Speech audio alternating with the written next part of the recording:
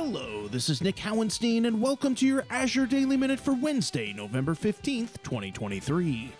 Yesterday, the Azure Functions team announced the general availability of support for .NET 8 in the isolated worker model. Functions projects using the latest versions of Microsoft.Azure.Functions.Worker and Microsoft.Azure.Functions.Worker.SDK can adjust their target framework setting without the need for additional changes. These projects can be deployed to function apps configured to use .NET 8.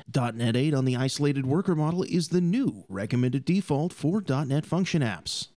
On Monday, the Azure Monitor team announced the public preview of JSON log collection for Azure Monitor Agent. This new capability is designed to enable customers to collect their JSON formatted logs generated in their service or application and ingest them into a log analytics workspace table for analysis. Azure Monitor Agent collects monitoring data from the guest operating system of Azure and hybrid virtual machines and delivers it to Azure Monitor for use by features, insights, and other services, such as Microsoft Sentinel and Microsoft Defender for Cloud. Azure Monitor Agent replaces all of Azure Monitor's legacy monitoring agents.